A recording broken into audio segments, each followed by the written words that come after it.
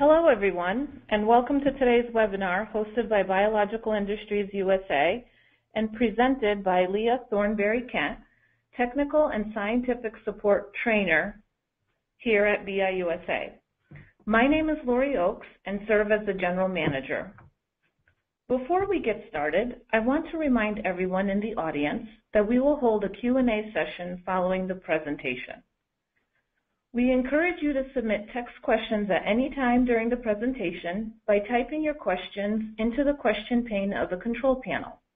We will collect the questions and address as many as we can during the Q&A session. And with that, I'd now like to introduce Leah Kent, our Technical Training and, and Scientific Support Manager here at BIUSA. Leah began her career with the Human Pluripotent Stem Cells in 2003 at WiCell Research Institute and in the lab of Dr. James Thomson at the University of Wisconsin-Madison. For the past 13 years, she has been providing technical support and hands-on training for scientists across the world on a variety of methods, including stem cell culture techniques, cutting-edge reprogramming technologies, and best practices in cell culture laboratory maintenance and sterility. Thanks, Lori. Hi, everybody, and thank you for joining us today for the presentation, A Practical Guide to Preventing, Detecting, and Eliminating Mycoplasma Contamination. If you work with cell cultures, chances are the word mycoplasma sends shivers down your spine. If not, I'm glad you're here to learn more. Mycoplasma contamination is a long-standing and persistent problem in cell culture labs, but many researchers don't do enough about it and many labs don't do enough to prevent it. Today I'm going to provide you with more information about mycoplasma as a contaminant and arm you with some tools to protect your lab. If you walk away with anything from this presentation, I hope you learn that mycoplasma contamination poses a serious risk to cell culture research, but that there are simple ways to safeguard your lab against it. I'll give you my top 10 tips for preventing contamination and tips for what to do if you detect mycoplasma in the lab. In this presentation, we'll cover what mycoplasma is, how it can impact your research, the common sources of contamination, and ways to prevent, detect, and eliminate it from your cultures. As a quick introduction, my name is Leah Kent, and I manage the tech support and training efforts at BIUSA. I thank a lot of my own experience to my time at WiCell Research Institute in the Thomson Lab at UW-Madison, where I gained my expertise in human pluripotent stem cell culture. Since then, I've been helping establish new labs, training new researchers in cell culture, reprogramming, and other lab techniques for over 10 years. I'm happy you've joined us today to learn more about mycoplasma. I also want to let you know that there'll be a few handouts available for everyone that's attending this presentation. They're available to download from the control panel at the right side of your screen. And as Lori mentioned, there'll also be a short question and answer session if you have a question at any point during the presentation, please just type it into the chat box. Lori is going to select a few for me to answer at the end, and if we don't read your question, I'll reply to you directly and answer you over email. So with that, let's get started. What is mycoplasma anyway? The name mycoplasma refers to the genus of these gram-negative, self-replicating species of bacteria. They're the smallest living prokaryotes with an average size of only 0.15 to 0.3 microns.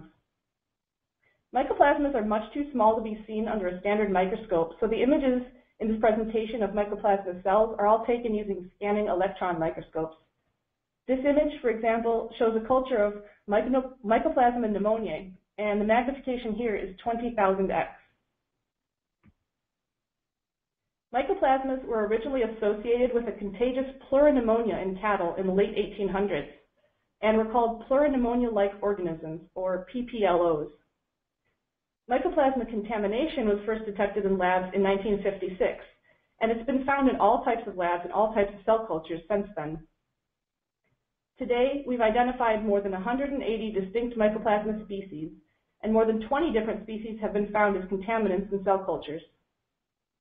Mycoplasma is a widespread problem in laboratories as it can affect all types of eukaryotic cells, including rodents, insects, mammalian, and plant cells.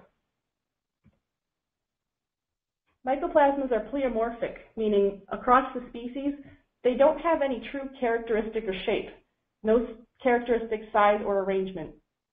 Instead, they can change their shape depending on their environments. Their membranes are also very pliable, which not only allows them to change shape, but it makes them very resistant to physical factors such as pressure, temperature, osmolarity, and dehydration.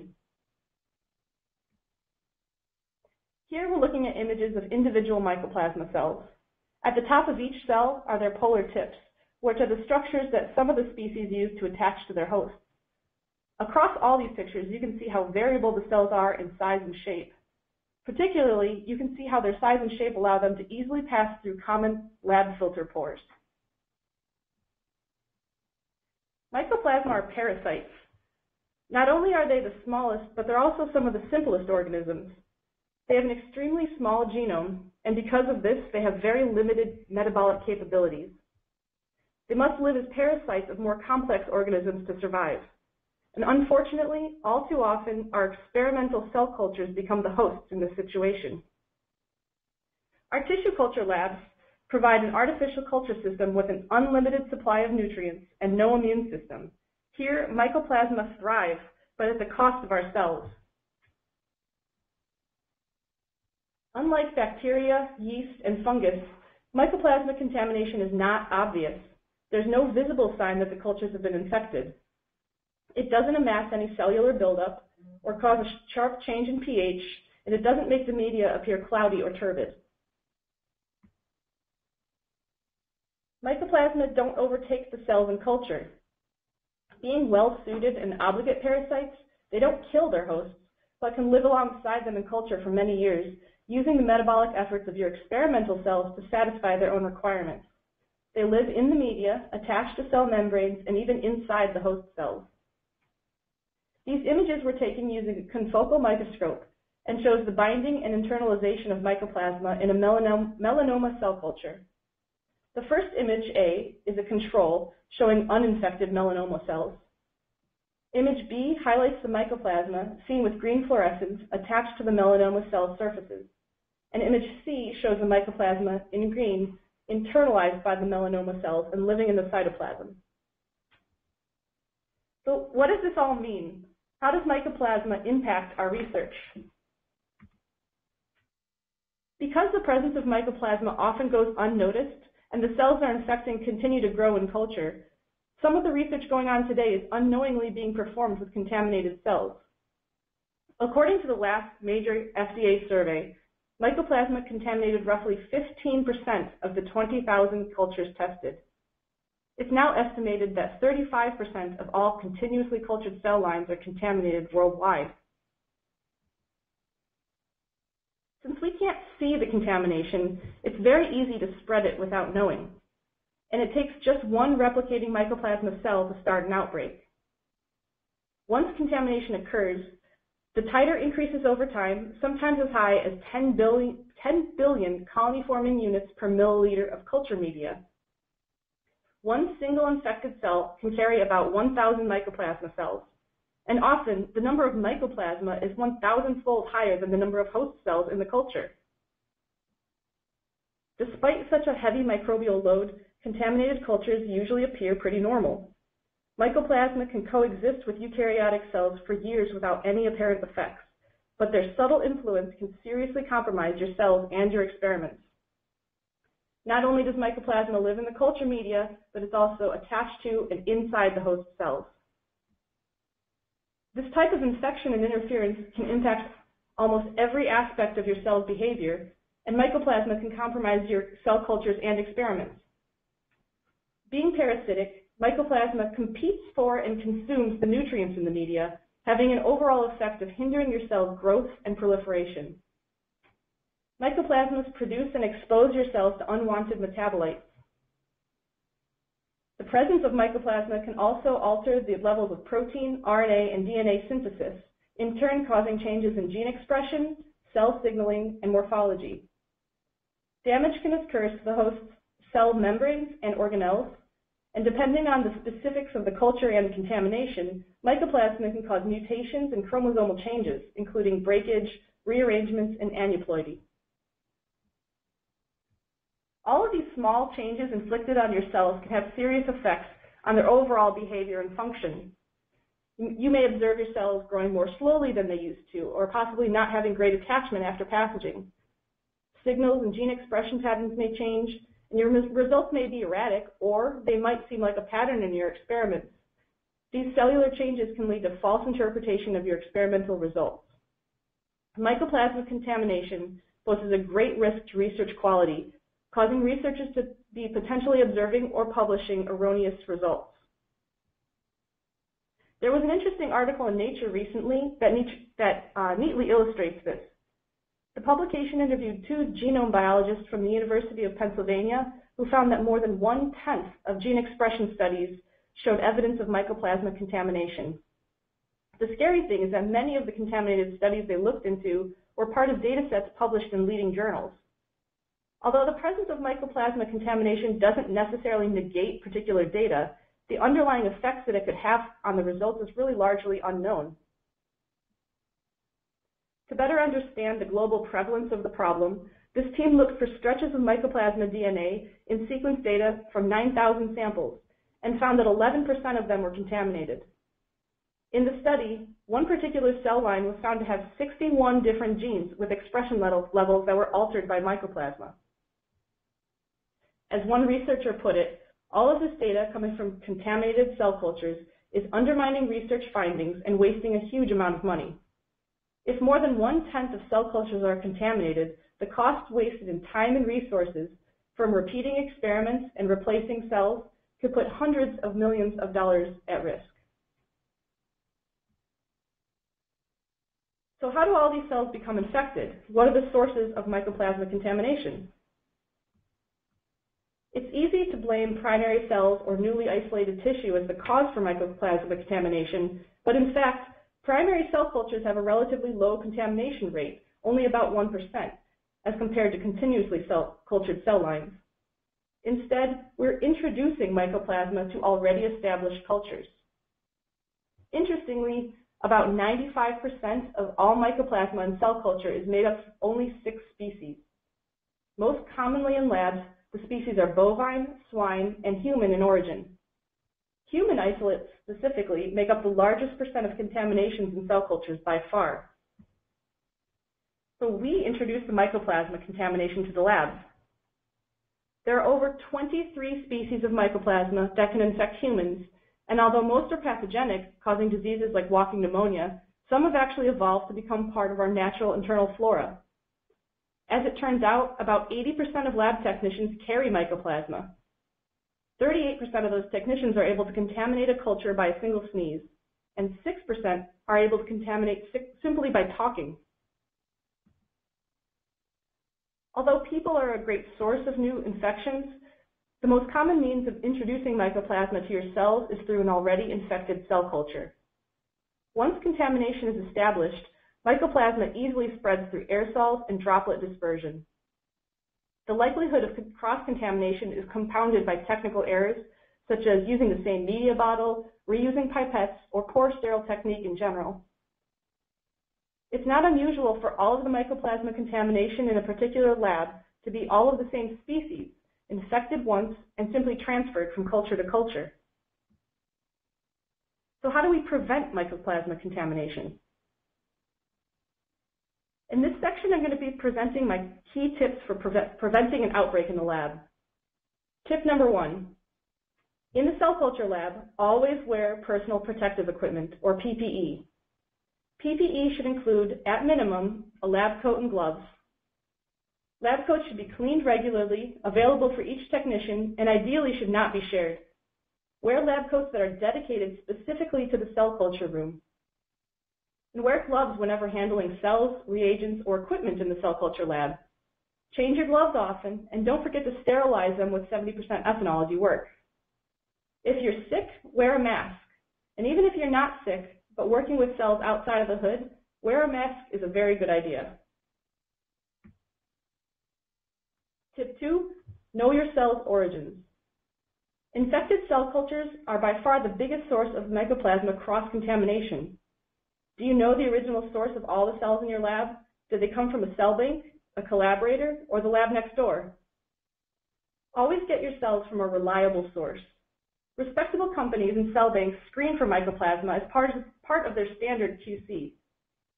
Even cells frozen in liquid nitrogen can infect the lab, since mycoplasma can survive and spread in liquid nitrogen even without cryopreservation.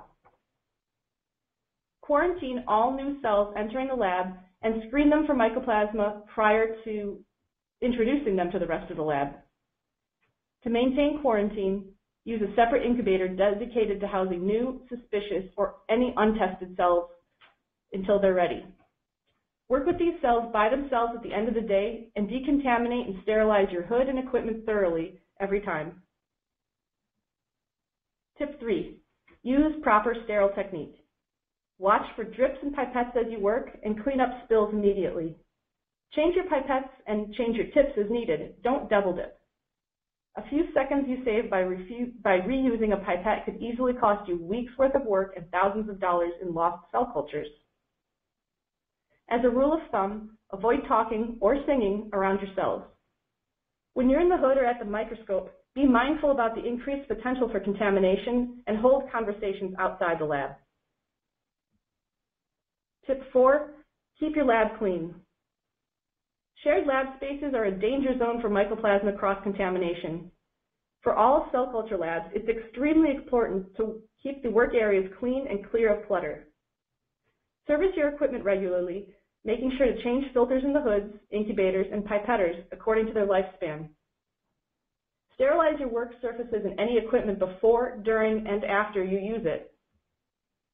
In general, a 70% ethanol solution is more efficient at destroying germs than a pure solution, but you can also use a preventative solution like Pharmacidal spray, which provides extra, extra protection against a variety of contaminants. Regularly clean your incubators. Freeze or toss any cell cultures not in use, and never let those culture dishes pile up at the back of the shelves. Wipe up all spills and drips immediately, and whenever you see exposed space on the trays, take the opportunity to wipe it down. You can use Pharmacidal spray here as well. It's safe for use in the incubator, even around sensitive cell cultures. The water pan inside a CO2 incubator is often overlooked, but has great potential to spread mycoplasma. In many incubators, the, internal, the internal humidity of the chamber is maintained exclusively by this water pan. Keep it clean by replacing the water regularly and add preventative solution to the water pan, such as AquaGuard 1. Of all the equipment in the lab, the water bath is probably the most prone to contamination of all kinds. It's essentially a lab jacuzzi kept at body temperature, picking up dust, and waiting for something to start growing. And generally, it's the last place you put your reagents before taking them into the hood with your cells. Keep these clean with routine water changes and supplement it regularly with AquaGuard 2 preventative solution. AquaGuard 1 and 2 solutions help maintain the water quality and sterility of your incubator and benchtop water baths.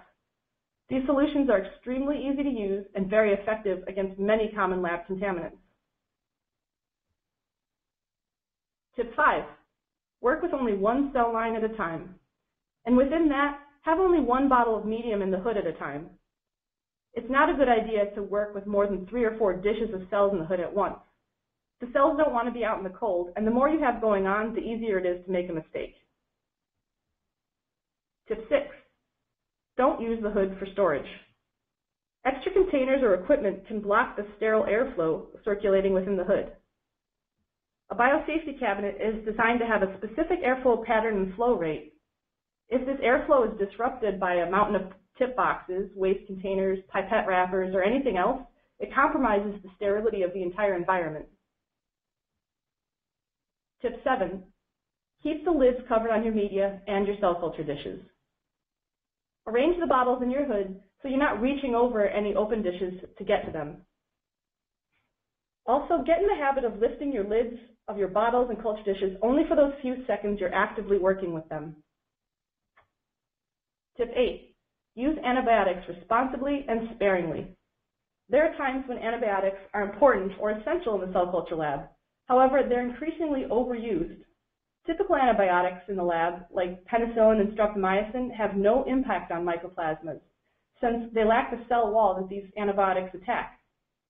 In fact, routine use of antibiotics has much, done much more harm than good for preventing mycoplasma contamination, since mycoplasma infections often co-occur with bacterial contamination. In one study, it was shown that cell lines routinely cultured in antibiotic-containing media had a tenfold higher mycoplasma rate than cultures grown without antibiotics. The long-term use of antibiotics can also hide an underlying low level of contamination, making it harder to troubleshoot your aseptic technique or materials. Tip 9, keep good records. First of all, it's important to record contamination events. Nobody likes to admit it, but there shouldn't be a stigma about contaminating. It happens. Recognizing it instead of ignoring it will help everybody in the lab improve their technique. Keeping lab-wide records is also a good way of tracking recurring issues and the key to discovering the source of a problem. Keep records of new cells entering or leaving the lab, test results, and any changes in media or reagent batches. Having this information handy makes it much easier to identify possible contamination sources if needed. Tip 10. Screen for mycoplasma regularly.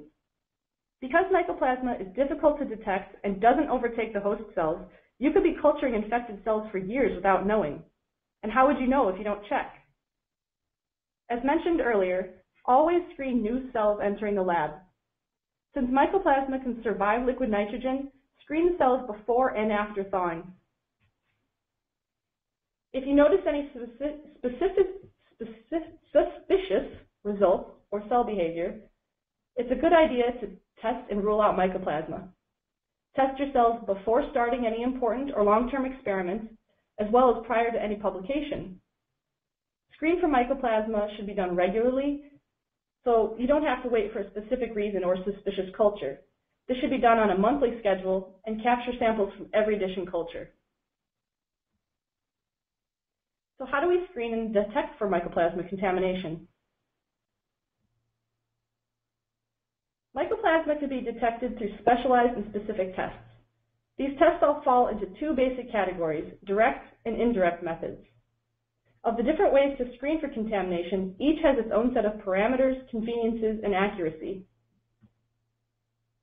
The gold standard screening method is a direct assay involving the culture of contaminated mycoplasma colonies on rich agar plates. Essentially, an aliquot of the culture medium in question is inoculated into complex medium and then transferred to agar plates in a very controlled environment, and mycoplasma colonies will arise over time if present. With this method, mycoplasma colonies look like tiny fried eggs under the microscope. This direct assay is part of the required validation by regulatory and medical authorities to prove that cells and materials are free of mycoplasma. Although it's a sensitive test, it does have some limiting features. It sometimes does not detect the presence of certain elusive mycoplasma species. This assay is generally outsourced to a specialized lab and takes about three to five weeks to get results, which need to be interpreted by a trained eye. So this screening method is not done routinely in all labs, but it's important to validate cells with a direct assay like this, or any cell line or any product that's being commercially sold or has intended clinical use. There are other indirect methods that are much more convenient for labs to test in-house. DNA-binding fluorescent stains, such as DAPI or Hoechst stain, can be used to test for mycoplasma. In this stain, an indicator cell line is inoculated with supernatant from experimental cell cultures. The indicator cells are, are cultured for several days and then stained with fluorescent dye. This is usually very reliable, although relatively labor-intensive and slow compared to some of the other assays available. Fluorescence in situ hybridization, or FISH, is a technique that builds on this fluorescent staining, but the incorporation of mycoplasma-specific probes enhances the sensitivity of the stain and can overcome the need for an indicator cell line. Immunostaining with monoclonal antibodies and the detection of ATP produced by mycoplasma-specific enzymes are other indirect staining methods that generate results quickly and can be employed in-house. These methods require some specific equipment and material, and often a little interpretation of the results. Mycoplasma screening by PCR is one of the most sensitive and analytical methods available. PCR is a simple, quick way to test your cell cultures on a routine basis using equipment that most labs already have. The method takes advantage of conserved sequences in certain regions of the mycoplasma's small genome. The primers in the EZ-PCR mycoplasma detection kit are very specific and will not detect other bacteria or animal DNA sequences, which greatly reduces false positives and other noise in the readout. PCR can be used to detect for many mycoplasma species, including the species that are difficult to detect using other methods. The EZ-PCR kit comes with a complete and optimized PCR reaction mix, already containing Taq polymerase, nucleotides, primers, and magnesium. The protocol is very easy, taking only a few minutes to prepare samples from a small amount of spent culture media. The primers in the EZ-PCR kit are designed to amplify a specific 270 base pair fragment, so the readout's very clear, with no need for interpretation of the results. This is a simple 2% agarose gel loaded with a standard ladder, four test samples, and a positive control. To avoid false positives, always work with the positive control last to avoid accidental crossover into the sample tube or wells. Now the big question is, what do you do if you get a positive result? How do we eliminate mycoplasma from the lab? If you're worried about a false positive, you can repeat the in-house test, incorporating a secondary detection method for more accurate results. Or you can send the sample to a, specialized testing service to be screened more thoroughly. The ideal solution when finding a positive result is to discard all contaminated cultures. Bleach the cells and any associated media and reagents. Disinfect and sterilize the hoods and incubators, making sure to change the filters. From there, screen all the other cells that remain in culture at an increased interval. If there's something you just can't toss without major justification, there are a few specific antibiotic, antibiotics that can overcome mycoplasma infection and help clean up the cultures. Cell lines have been successfully treated with specific antibiotics and rescued, with a general successful cell recovery of between 65 and 85 percent. Results will vary depending on the antibiotic used and the cells themselves. In the top row of images, ovarian cancer cells are contaminated with mycoplasma. They appear grainy, and you can see the mycoplasma stained with DAPI in blue in both the cell's cytoplasm and in the media. After treatment with antibiotics, the cells in the bottom row have a more normal morphology and no evidence of mycoplasma is seen with DAPI staining. If you plan to rescue cells with mycoplasma antibiotics, be sure that the treatment is thorough or the mycoplasma concentrations can be reduced but not completely eliminated. Rescreen the cells for contamination about two weeks after treatment at the earliest. There are three classes of antibiotics that have been shown to be effective against mycoplasma. Fluoroquinolones, macrolides, and tetracyclines. The antibiotics in these classes are effective against many species of mycoplasma, specific species, so multiple rounds of treatment might be necessary with more than one antibiotic. Choose your antibiotics for mycoplasma elimination carefully, as some can be extremely harsh on the cells, and others can have a high, a high tendency of developing resistant strains. The three Biomyc antibodies, for example, are very effective. Biomyc 1 and 2 are used together in sequence for a total of seven days treatment. It might be necessary to repeat the cycle of treatment to completely eliminate contamination. Biomyc 3 is also very effective against multiple species of mycoplasma. It's based on the antibiotic ciprofloxacin and must be used in treatment alone. Cells are treated for two weeks with this antibiotic and it can also be repeated if the cells still test possible for contamination after one round. In summary, mycoplasma is a serious yet often overlooked issue for cell culture research. Labs need awareness and a plan.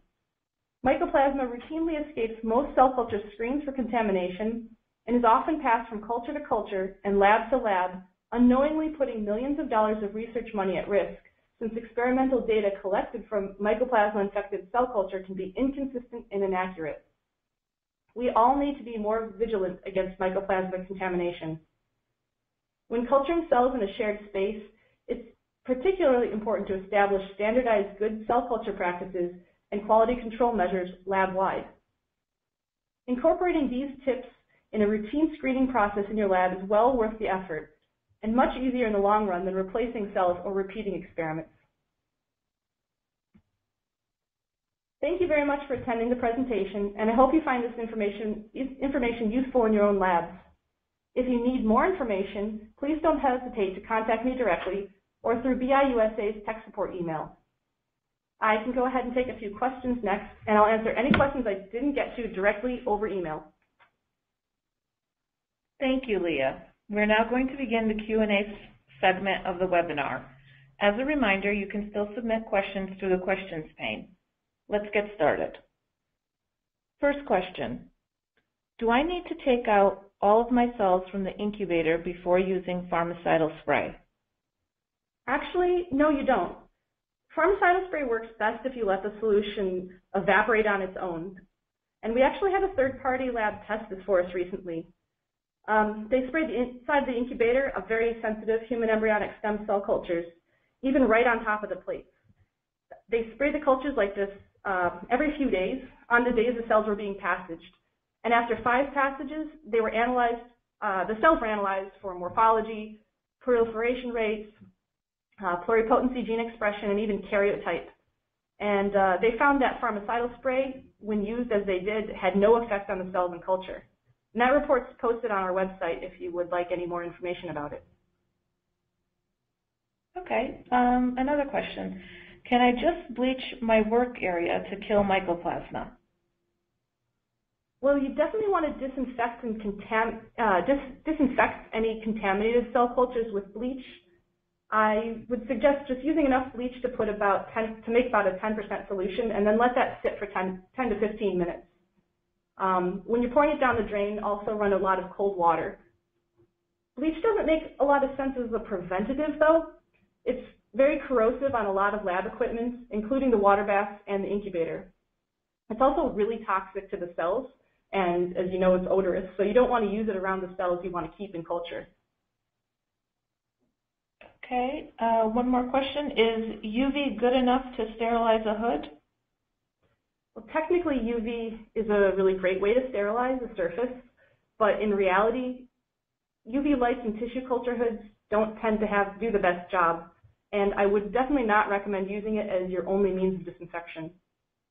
So the, the UV light bulbs steadily use their, lose their effectiveness over time, and the distance from the UV light source has a big effect on the potency. And uh, remember that the UV light doesn't reach all the surfaces that are covered up, so it's one more reason to keep those tip boxes and other stuff from piling up in the hood. Okay, we have another question. Can I test cells immediately after they have been removed from liquid nitrogen? I always recommend to let them grow at least a little bit first. Um, give them enough for a, passage or so. At least get them growing. Um, let everything kind of recover before you test them Okay. Well, that's all the time we have for our webinar today. Please look for our follow-up email with a link to view the recording of today's webinar once available on our website. Again, thank you very much for joining us today.